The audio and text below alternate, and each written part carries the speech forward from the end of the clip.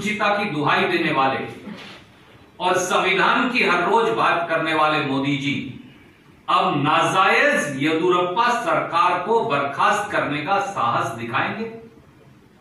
दूसरा सवाल, क्या ऑपरेशन कमल, जिसके माध्यम से विधायकों की खरीद फरोख्त हुई, क्या ऑपरेशन कमल की निष्पक्ष जाँच होगी? तीसरा सवाल मोदी जी क्या येदुरप्पा जी और अमित शाह जी की भूमिका की जाँच होगी? चौथा सवाल। क्या भार आप, मोदी जी, आप और भारतीय जनता पार्टी, अब भी इन भगोड़े विधायकों को भारतीय जनता पार्टी की टिकट देंगे जिन पर सुप्रीम कोर्ट ने अयोग्य का ठप्पा लगाया? क्योंकि प्रधानमंत्री जी आदरणीय मोदी जी अगर आपने ये चार सवालों का जवाब देश को नहीं दिया और ये चार कदम नहीं उठाए तो फिर राजनीति की गंगा को मैली करने की जिम्मेवारी सदैव के लिए आपकी है I will now request there is another important matter before I take question on this on which held to be culpable. So, the actual disqualification operates from the date of the culpability. That is why resignations will not cure a disqualification. So that's the third important point which the Supreme Court has clarified. Remember, on all these three points till now, the Speaker has been upheld fully. The fourth point on which the Speaker was upheld was that normally the Speaker should give them seven days notice. In this case, although some MLAs got well beyond seven days notice, a few got less than seven days. So the argument of the MLAs was the denial of natural justice. We got less time. The court said normally you should follow the seven day limit. But where the speaker believes it is urgent, where exigencies cannot be managed, then he is permitted to do less than seven days also, as happened in the case of some MLAs in this particular set of cases. So on all four fronts. Bharatiya Janata party BJP का मतलब है भगोड़े जुटाओ party Bharatiya Janata party को अपना नाम बदल लेना चाहिए क्योंकि सुप्रीम कोर्ट ने भी उस पर मोहर लगा दी है of certain MLAs from Karnataka. At the outset, let me disclose that I was the counsel for the erstwhile speaker, whose order has today been upheld in its entirety by the Supreme Court, save and except one portion about which I will tell you. But let us understand the legal facet first and then see the very significant political aspects also. The first part of the legal facet is 10th schedule was called in the debates in parliament acting in its constituent capacity as a constitutional sin. It was put that high. These are not my words. And therefore, disqualification was provided for what? For unethical malpractices obviously involving money and other allurements, and hence disqualification was the punishment. Now, the Speaker's order, which has been upheld, records in graphic detail, and part of that is reproduced in the Supreme Court order, how the Speaker had enough material to disqualify the MLAs. And why do you think the MLA switched? not because of fresh air and good weather. By the Speaker first, and then in a detailed hearing in the Supreme Court, today by the Supreme Court. So they upheld the disqualification. The Speaker's well reasoned order, giving facts and details, showing the unethical malpractices from the only beneficiary of this defection, was upheld.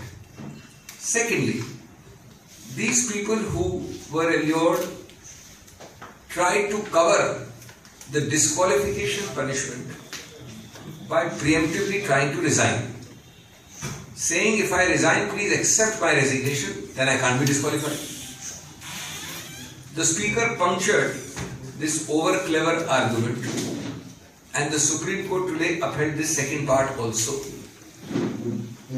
Because if it's a constitutional sin under the 10th schedule, And if you are to be disqualified, you cannot use camouflages, devices, over clever techniques to avoid disqualification by preemptively resigning. So that is the second aspect. The third, they clarified what is established law that when the speaker disqualifies after a delay of 10 days, 1 month, 2 months, the disqualification relates back to the act which is held to be culpable. Number एक भगोड़े जुटाव party BJP ने प्रजातांत्रिक तौर से चुनी हुई संपूर्ण बहुमत वाली जेडीएस और कांग्रेस की सरकार को जबरन गिराया था।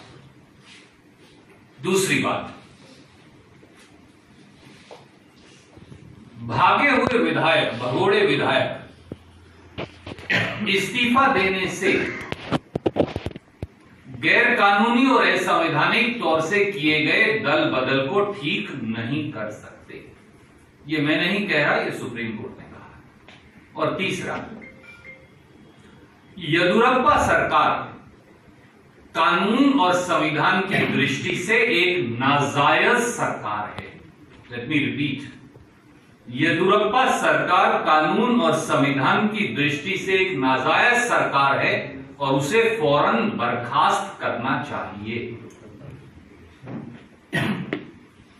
जनमत और प्रजातांत्रिक मूल्यों की ये मांग है कि ना केवल नाजायज यदुरप्पा सरकार बर्खास्त हो, परंतु धन बल के आधार पर खरीद फरोख्त करके एक चुनी हुई जेडीएस कांग्रेस सरकार को गिराने के भाजपाई षड्यंत्र की जाँच की हो।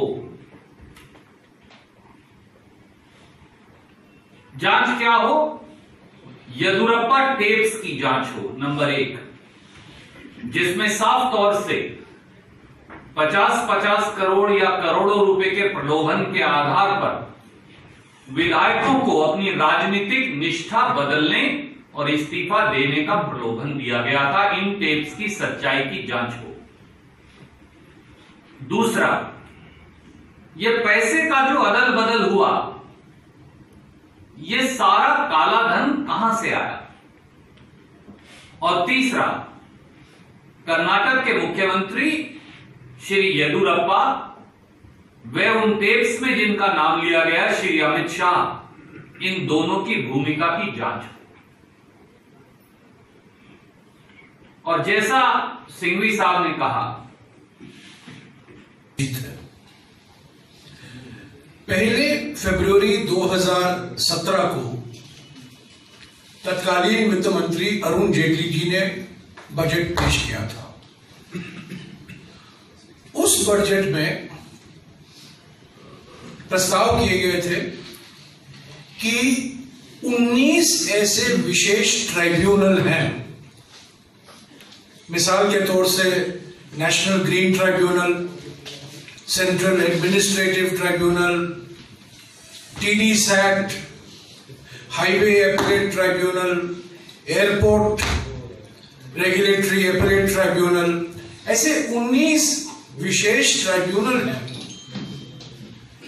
इनमें संशोधन का प्रस्ताव किया गया था। और ये संशोधन अपने बजट भाषण में अरुण जेटली जी ने पेश किया। तो इसका ये मतलब हुआ कि ये जो संशोधन लाए गए थे, वो फाइनेंस बिल 2017 के एक अंग थे। वो फाइनेंस बिल के द्वारा संशोधन लाए गए थे। इसका माने ये था कि यह संशोधन मनी बिल के रूप में आया। जैसा कि आप जानते हैं मनी बिल जब आता है, उस पर सिर्फ़ लोकसभा के अधिकार है, बहस करने का, संशोधन लाने का, राज्यसभा की कोई भूमिका नहीं होती है, बहस हो सकता है, पर उसमें कोई संशोधन नहीं ला सकता। जब ये फाइनेंस बिल 2017 राज्यसभा में आया, मार्च के महीने में तो कई सदस्यों ने ये बात उठाई कि ये जो महत्वपूर्ण संशोधन ला रहे हैं आप आप साधारण तरीके से क्यों नहीं लाते? जो कानून बनाए गए हैं, लोकसभा और राज्यसभा की अनुमति से, उनमें संशोधन क्यों ला रहे हैं? क्यों नहीं ला रहे हैं? मनी बिल द्वारा क्यों ला रहे हैं? पर उन्होंने माना नहीं। और जून के पहले तारीख 2017 ये 19 ट्राइब्यूनल में संशोधन लाए गए।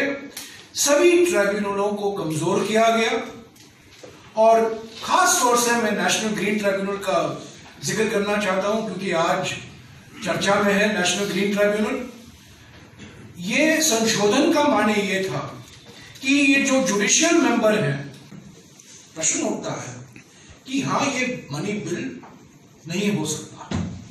तो ये पहला मुद्दा है। दूसरी बात, उन्होंने साफ़ कहा है कि फाइनेंस एक्ट 2017 के द्वारा जो संशोधन लाए गए थे, वो संशोधन नकारे। उन्होंने ये कहा है कि ये संशोधन नहीं हो सकते। अगर आपको संशोधन करना है जो कानून है नेशनल ग्रीन ट्राइब्यूनल का कानून सेंट्रल एडमिनिस्ट्रेटिव ट्राइब्यूनल का कानून हाईवे का कानून टेलीकॉम का कानून, उसमें संशोधन कीजिए। लोकसभा में बहस हो, राज्यसभा में बहस हो, संशोधन लाइए और उस संशोधन पर जुडिशियल रिव्यू हो सकता है।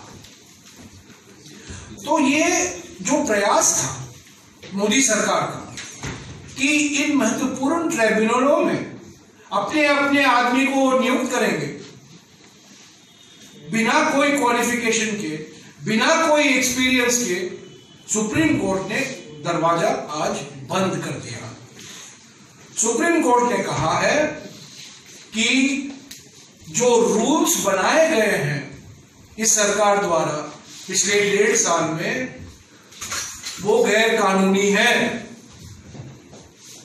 और फिर से आप रूल बनाइए। लोकसभा और राज्यसभा से पारित कराइए। और पारित कराने के बाद अगर उसको चैलेंज करना होगा तो वो दरवाज़ा खुला। तो ये बहुत बड़ी जीत हुई। राज्यसभा के लिए खास तौर से बहुत बड़ी जीत हुई। है मैं समझता हूँ कि ये एक तरीका था। ये एक रास्ता ढूंढ निकाला था सरकार ने। क्योंकि उनकी बहुमत तो थी नहीं राज्यसभा में। तो हर एक बिल को उन्होंने मनी बिल घोषित कर दिया। तो मनी बिल घोषित करने के बाद कोई बहस नहीं हुई राज्यसभा में। राज्यसभा का कोई अधिकार नहीं रहा संशोधन करने का। वो दरवाज़ा अभी बंद हो चुका है। मनी बिल क्या है? मनी बिल किस संदर्भ में किसी विधेयक को आप मनी बिल घोषित कर सकते हैं, वो एक लार्जर बेंच को रेफर किया गया है। और जो 19 ट्राइब्यूनल है, सबसे महत्वपूर्ण ट्राइब्यूनल नेशनल ग्रीन ट्राइब्यूनल है, आज के हालात में नेशनल ग्रीन ट्राइब्यूनल को इन्होंने बचाया। क्योंकि जिस तरीके से इस सरकार ने नियुक्ति की प्रक्रिया शुरू कर दी थी बिना कोई एजुकेशनल क्वालिफिकेशन बिना कोई वर्क एक्सपीरियंस के, अपने चहीते लोगों को नियुक्त कर रही थी, क्योंकि वो चाहते थे कि ये ट्राइब्यूनल थप्पा ट्राइब्यूनल बने।